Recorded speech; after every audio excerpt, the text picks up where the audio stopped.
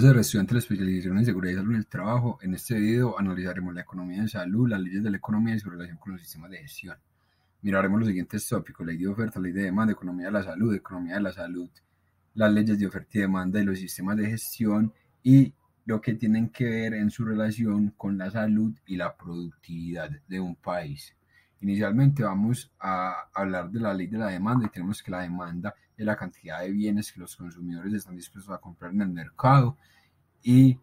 entre los ejemplos tenemos la cantidad de medicamentos antihipertensivos requeridos por una población, la cantidad de personas inscritas en un servicio, por ejemplo, de enfermedades crónicas no transmisibles. Como oferta tenemos que la cantidad de bienes o servicios disponibles para ser vendidos en un determinado momento o a un precio dado. Tenemos, por ejemplo, la totalidad de medicamentos y de vacunas disponibles, disponibles por el Estado para una determinada población. Con respecto a la economía de la salud, tenemos que no solo analiza los costos desde el punto de vista asistencial, sino que tiene a su cargo eh, el análisis del de, financiamiento de todos los servicios de salud. Y además debe, con ese buen manejo de los recursos y ese buen financiamiento, lograr alcanzar un mayor nivel de bienestar físico, psicológico y social en la población. Eh, con respecto a la economía de salud y los sistemas de gestión, tenemos que los sistemas de gestión son un servicio económico que se rigen, valga la redundancia, sobre las leyes y las normas de la economía. Por ende, la economía de la salud tiene que estudiar todas las relaciones económicas que se ejecutan durante la prestación de este servicio.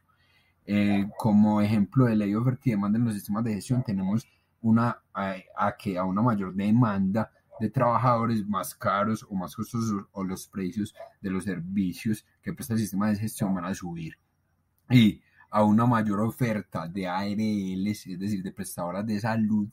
vamos a tener una disminución en los precios, un aumento en la calidad debido a la,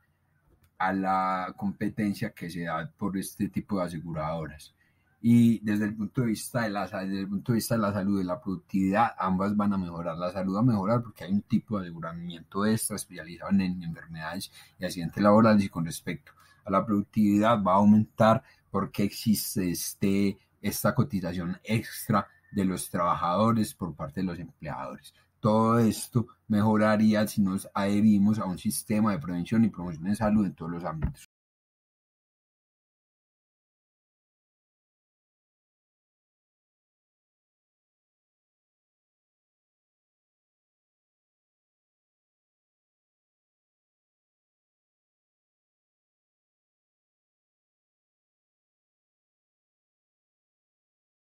created using Powtoon.